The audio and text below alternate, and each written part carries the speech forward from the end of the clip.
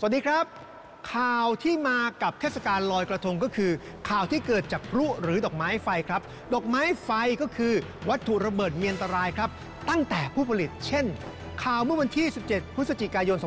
2552 เกิดเหตุพลุระเบิดในห้องแถวจังหวัดสมุทรปราการครับ เนื่องจากมีผู้ลักลอบทำพลุกักตุนไว้จำหน่าย นอกจากนี้อันตรายยังเกิดขึ้นกับทั้งผู้ส่งและผู้ขายด้วยครับ จากข่าวเมื่อวันที่ 14 สิงหาคม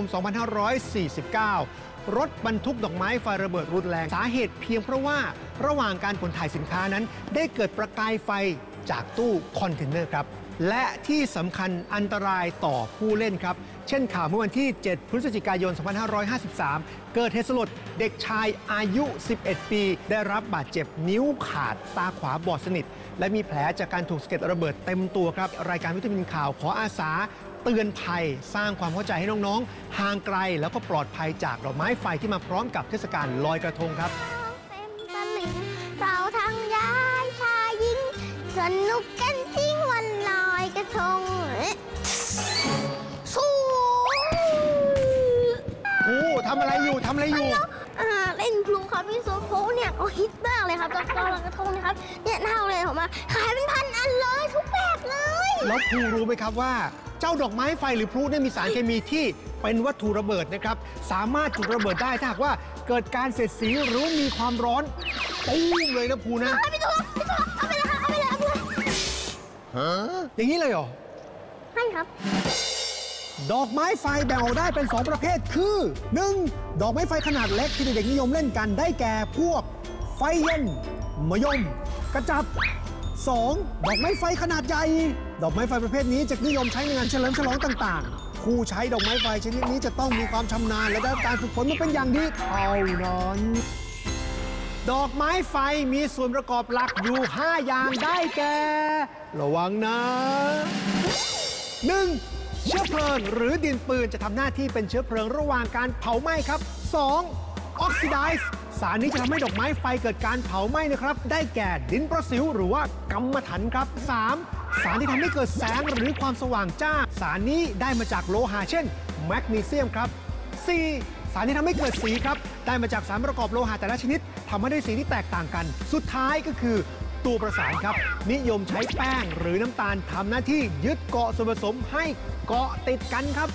สารเคมีแต่ละชนิดไม่ใช่ของเล่นเลยค่ะ และไม่เหมาะกับเด็กๆ อย่างเราด้วยค่ะ แรงระเบิดของดอกไม้ไฟนั้น มีผลทำให้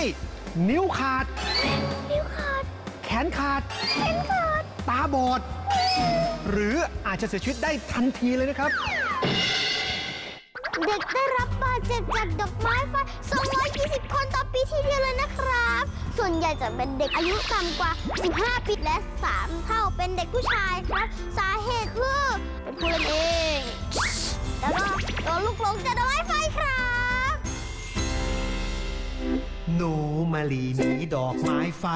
ห่างห่างไว้ยิ่งไกลยิ่งดี หนูมาลีหนีดอกไม้ไฟ ห่างห่างไว้ ลอดภัยทุกทีพลุดอกไม้ไฟคือสารเคมี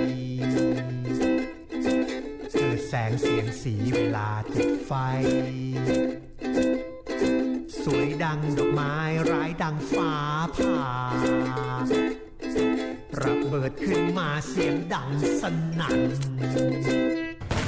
มักชอบจุดโชว์ในงานฉลองายขายคล่องตอนเทศกาล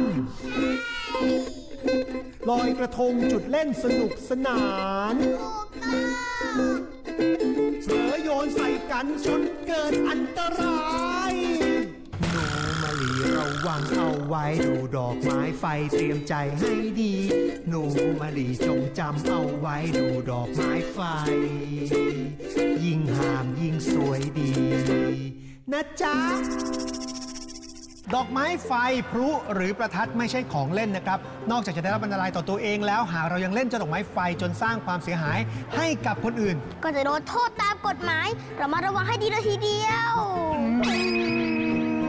ท่านผู้ชมสามารถติชมรายการ และชมรายการย้อนหลัง พร้อมทั้งร่วมสนุกกับกิจกรรมดีๆของวิตามินข่าวได้ ผ่านทาง Facebook ของเรานะครับ เพื่อลุ้นรับเสยืดวิตามินข่าว ทุกสัปดาห์เลยครับ